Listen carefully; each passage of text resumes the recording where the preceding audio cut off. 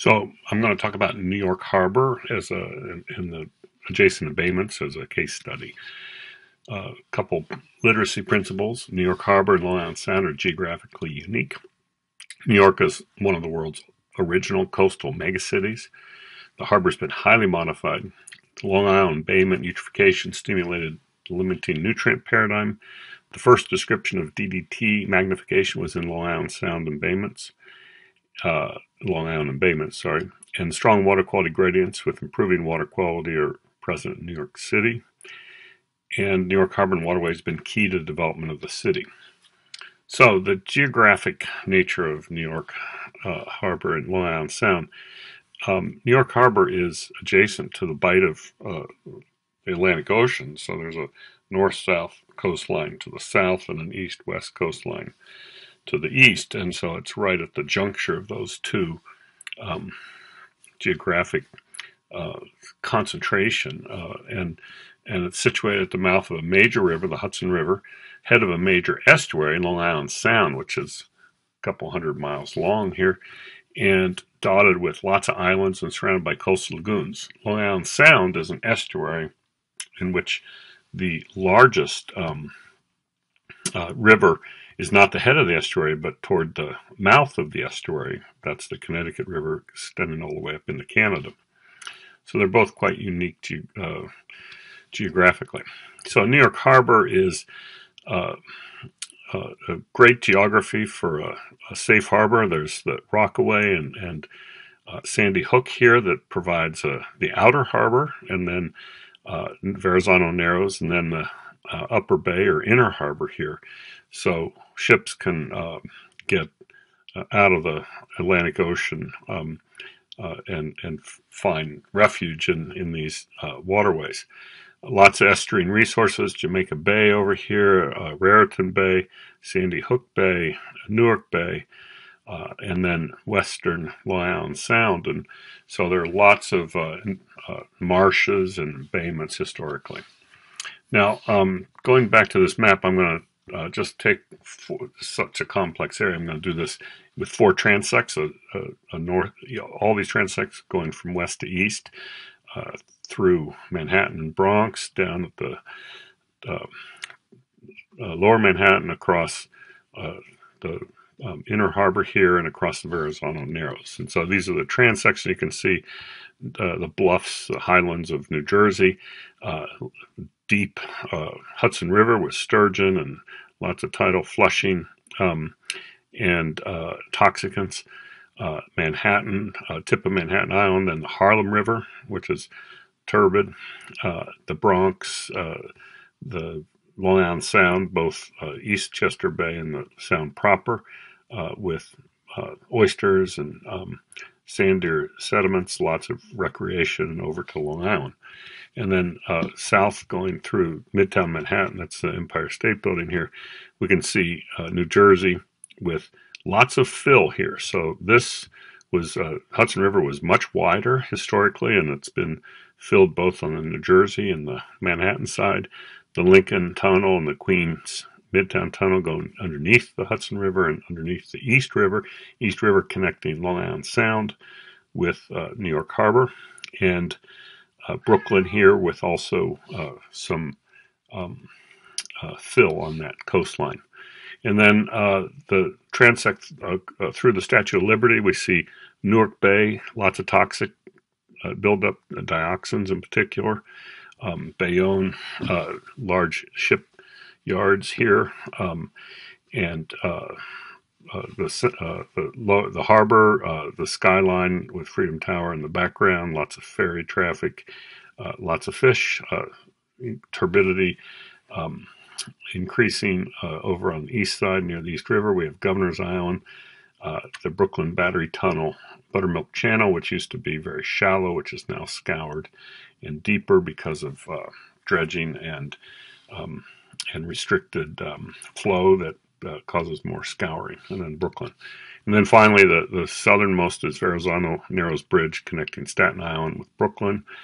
Uh, here we have Arthur Kill and uh, ship uh, activity and, and uh, port development. Jamaica Bay, a very shallow uh, coastal lagoon, except for dredged areas. It's the home of JFK Airport. It's also a national park, uh, and then the suburb of Queens, or the borough of Queens. So, uh, New York is one of these original uh, mega cities. Uh, Tokyo and New York were the two, first two uh, 10 million uh, uh, population, 1950. Of course, lots more have occurred since then. It's been highly modified, and if we look at Mannahatta Project, in which um, they've looked at old charts and maps, and they can see the uh, original outline of Manhattan Island. You can see lots of marsh and um, a very skinny, narrow tip here, which is now all rounded out by uh, landfill. Uh, so New York was a very uh, low-lying, marshy area in, in most parts. Uh, so lots of dredging and filling, lots of dredge um, channels. Now we have massive wastewater and stormwater inputs and various uh, invasive species that have occurred the water supply into New York uh, Harbor, uh, into the New York metropolitan area, comes from quite quite far. It's up in the Catskills, where these watersheds have been uh, uh maintained to provide good drinking water and large, extensive aqueducts down into New York City. The Long Island Sound embayment eutrophication story. Uh, these are Jamaica Bay here, and then this is called Great South Bay and Moriches and Shinnecock Bays along the South Shore coastal lagoons. And um, starting in the 1930s, there was a huge program of, of creating uh, duck farms, and they always uh, raised the ducks adjacent to water so that they would, they, at the time, they felt that ducks needed water. And they produced four million of these ducks. And this inlet got uh, got blocked up, and they had these huge green tides, these blooms that were um, uh, that came through, and it led to the decline of their their uh, blue point oysters. Um, and these little green forms were uh, causing real problems in water quality. Uh, and it was because of this inlet being closed off by a large hurricane and then trapping that water and the nu- nutrients from the duck runoff. So they got a guy from Woods Hole, a guy called John Ryther, to come down and, and investigate this eutrophication. And so Ryther looked at um, this with bioassays, and at the time, this was uh, right after the Lake Erie and the phosphorus ban. Uh, everybody was uh, focused on phosphorus as a major limiting nutrient, and what he showed with these bioassays that, that was the nutrient was stimulated, the growth of the plankton was nitrogen, not phosphorus. And then he followed that up by taking the Atlantis, the uh, Woods Hole oceanographic ship, and on these three transects out of New York Harbor across the continental shelf into the uh, into the Sargasso Sea. And what he saw was that that the um, uh, distribution of nitrogen dropped away much more quickly than that of phosphorus, and provided a, a classic paper uh, in science that pointed to nitrogen as a major limiting nutrient for coastal waters. And then uh, another key uh, uh was in the DDT, and this was done out of Brookhaven, uh, a national lab uh, in Long Island, and looking at the um, the sampling the various food web along in this part of these embayments here of, of Long Island. They found uh, this DDT bioaccumulation, published in Science, and uh, of course, uh, since then, DDT has been banned. So, looking at the harbor itself, uh, zooming in on this with some data that we've just recently obtained from the New York Harbor Project and, and calculated these scores for water quality scores using the same technique we did for a Long Island Sound report card. What you see are these canals uh, that, that uh, Newport Creek, for example, here, Newtown Creek, sorry, um, and and um, and uh, other places where the restricted water is very uh, degraded water quality. Uh, the best water quality ducking out from uh, Rockaway Point over here by Coney Island. Good water quality, good flushing, you know, from the uh, Coriolis effect, the water coming in from the oceans, very uh, clean. And then poor water quality over in New Jersey. Uh, lots of rivers, the Hackensack, the Raritan, the Passaic, coming over here from New Jersey, so they're degrade, you know, with lots of runoff. Jamaica Bay, uh, reduced water quality as well, and the western uh, part of the Sound and East River. Um, and that makes sense given the sort of the gradient in Long Island Sound, which is very well flushed from Block Island Sound with large tidal flushing in the eastern and central portions, but as it narrows into the western, narrows with the New York City inputs, um, degraded water quality. So some uh, trends, however, this is uh, some uh, trends from uh, the uh, New York City uh, DEP, Department of Environmental Protection data set, and they've sampled here in the Hudson and and the Upper Bay, and then along in the Arthur Kill here, and you can see combining these data, what, what, what we see is improving dissolved oxygen both in surface and bottom water, improving bacteria. Uh, of course, this is um, uh, not directly following rainfall where all those numbers shoot up and it's not safe to swim. Uh, declining total suspended solids. And yet, uh, and this is uh, similar to the Chesapeake Bay where um, the transparency, the water clarity based on Secchi depth is is uh, declining, even though the suspended solids are improving, and in some cases chlorophyll is improving. So there's a little bit of enigmatic water clarity decline that's going on. So this harbor and the waterways surrounding New York have been key to the development of New York City. So this ecological diversity and richness around this harbor have supported the economically rich and diverse and vibrant city that New York City represents.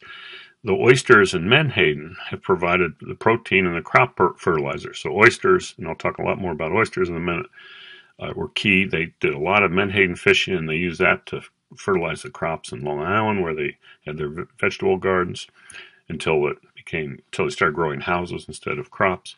Uh, the protected waters made for good shipping. The Hudson River connected eventually to the Mississippi basin through the Hudson River Erie Canal and then Long Island Sound was the major entrance into New York Harbor until late 19th century when steam powered dredging made the, the uh, ocean approaches navigable, but the shoaling offshore had prevented that, so people went the back door through um, Long Island Sound.